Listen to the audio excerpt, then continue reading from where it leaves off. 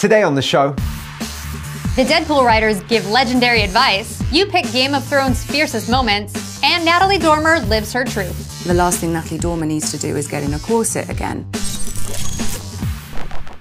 hey everyone, welcome to the IMDb show. I'm Tim Cash. I'm Carrie Doherty. It's Thursday, May 17th. We have a great show today. It is a big week for movies. Huge week. Just as the world is coming down from Avengers Infinity War, it's time to get amped again because Deadpool 2 is out. Deadpool! I am so excited for Deadpool 2. I love the fact Josh Brolin killed it as Thanos, mm-hmm. one of the best supervillains we've ever seen, and now he's back as Cable, which was one of my favorite characters from the cartoon series. This is one of my favorite superhero movies because of the brand of humor that Deadpool brings. Yeah. The breaking the fourth wall, it really just subverts the superhero genre.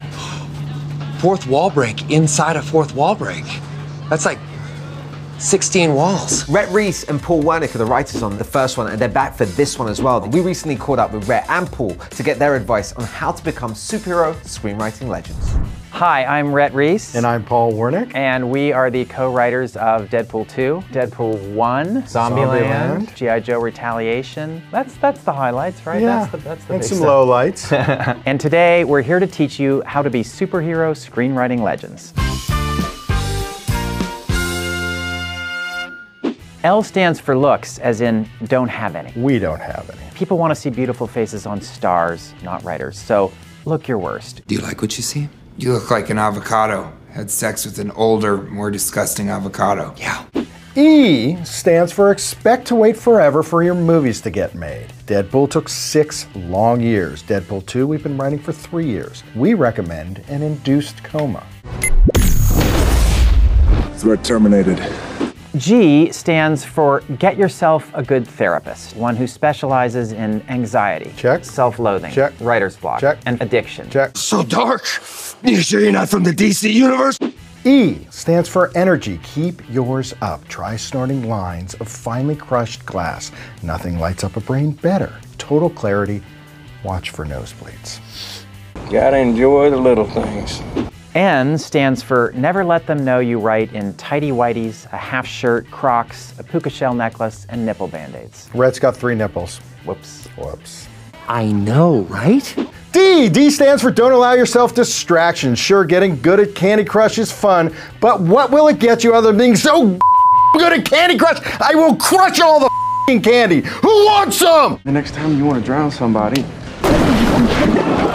just invite me. And that's how you become a superhero screenwriting legend. And this is why they don't let screenwriters on camera. Yeah, this is it for us. It's over. Go home.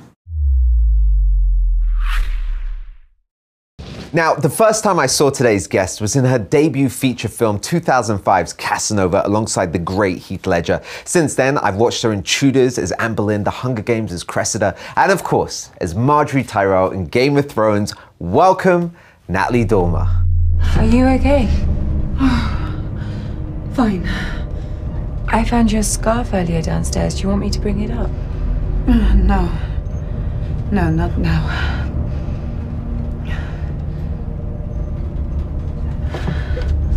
Please look after it for me.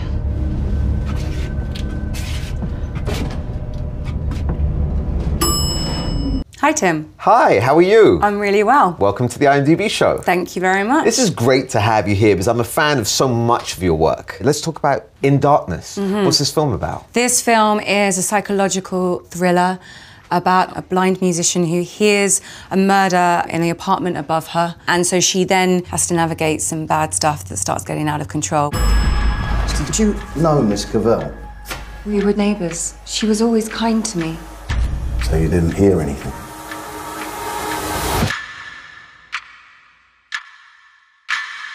No.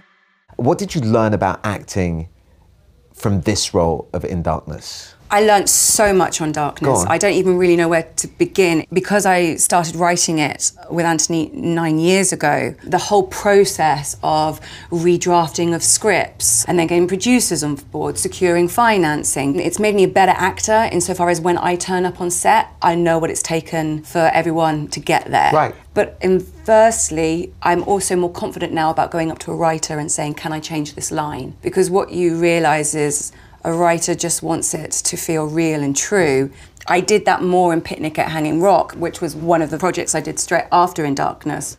Some of your companions have managed to lose themselves. We've escaped. Something terrible has happened.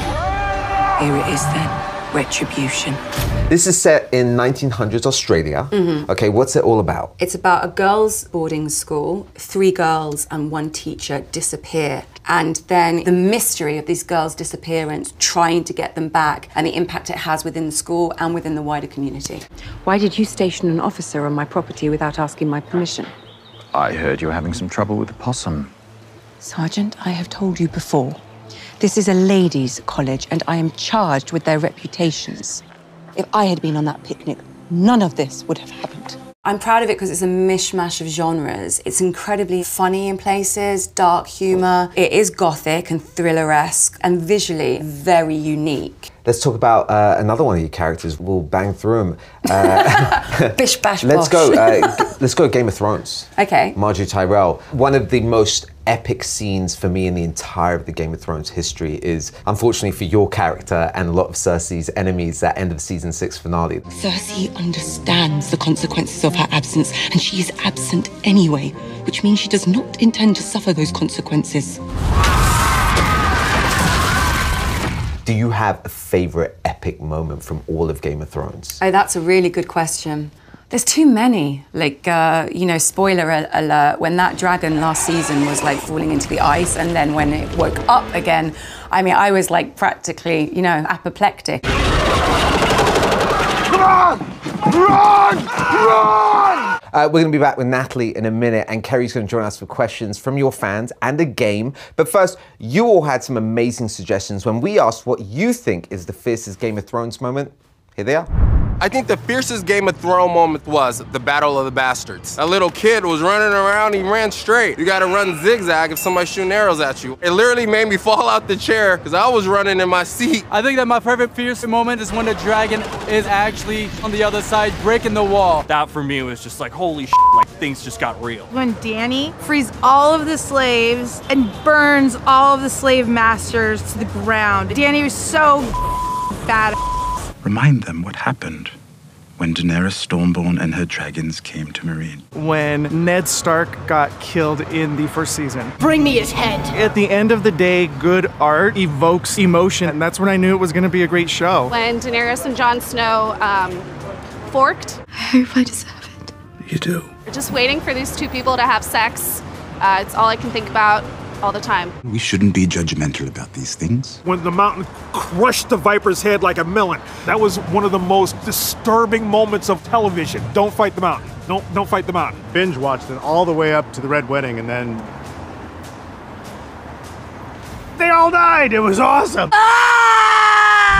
In In Darkness, because your character is blind, she relies a lot on her senses of touch and smell and taste. So, today we thought it would be fun to find out which movies speak to each of your five senses. Let's start with taste. For taste, the first one that came into my mind, and I'll try not to blush as I say this, is nine and a half weeks. Yeah, there you go. yeah, the scene with Mickey Rourke and Kim Basinger in front of the refrigerator. Okay, how about touch? Nine and a half weeks. Sorry. It's just be my stock answer. Yeah, for every single one. Staying in the romantic vein, I was thinking Dirty Dancing, the lift in the lake. All right, this should be interesting. What do you have for smell? Mad Max Fury Road because of all that oil and gasoline that's right as, as Metal. they're, and the metal as they're revving the engines and the dust and the heat. Oh, what a day!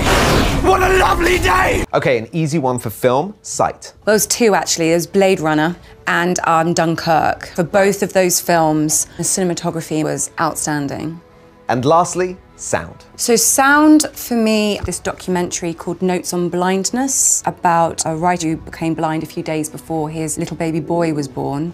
And he talks about as it rains everywhere, he can hear all the different sounds and the different Yeah. textures and surfaces.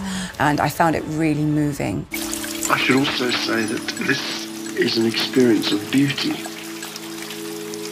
All right, it's time for questions from your fans. Yes. At Doctor Who fan 194 wants to know You've played a lot of historical roles. Is there a period of history which you haven't tried your hand at yet, but would like to? I would love to do late 20s, early 30s. Why? Because I, I love the clothes. Yeah. Flapper dress. But I also think it was a really interesting time politically, which is probably not too far a parallel from what we're sort of going through at the moment. Uh, the next question comes from at Dormerable. Hey Natalie, I'm a huge fan. Uh, what's your favorite BTS moment with the cast when you were in the Tudors? My favourite BT. BTS Behind moment. the scenes. Oh, behind the scenes. Of course, I know what that means.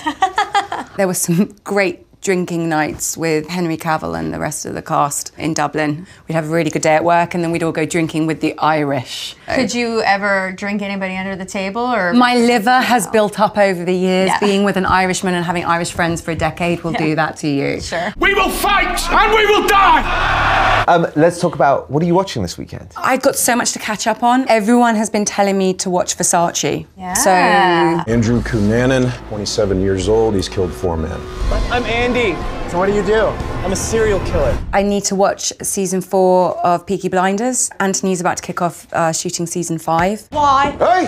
Why? Why? Because we f***ing can. Because we f***ing can. And if we can, we do. Uh, for me, I think this weekend, and I know for you as well, Deadpool 2 is coming out. Deadpool 2, yeah. We'll That's both be huge. that. We'll be known as X-Force. Isn't that a little derivative? You're absolutely right. And then as well for me, my godkids are in town, so I will be taking them to see Show Dogs. Oh, which is- so this is a dog who goes undercover at a dog show. The glamour, the fashion, the toilet water. Mm-hmm. Natalie Dormer, thank you so much for being here. Thank Such you, a Tim. pleasure having you in person. Uh, in Darkness is in theaters May 25th, and you can also check out Picnic at Hanging Rock when it drops on Amazon on the same day. Before we go, be sure to go to imdb.com slash show where you can watch past episodes and rate all of the episodes, which you should do because you love them as much as we love them. We'll see you next week. Take us out. It's this week's Trailer Trailer.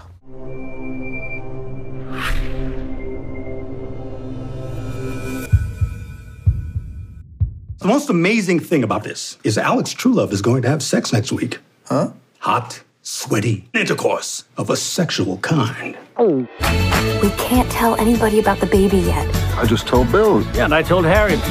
I told many, many people. Hey, little baby, where are your. Tell me about the mission. Did you see anything unusual? Like an alien, you mean? Any big plans for the weekend, that Bill? Oh, you know, the usual. Gotta take the kids to soccer. I'm 30 years old. I wear a Hawaiian shirt to work. My boyfriend dumped me in a text. Let's set a on fire. Burn, burn, burn in the fire.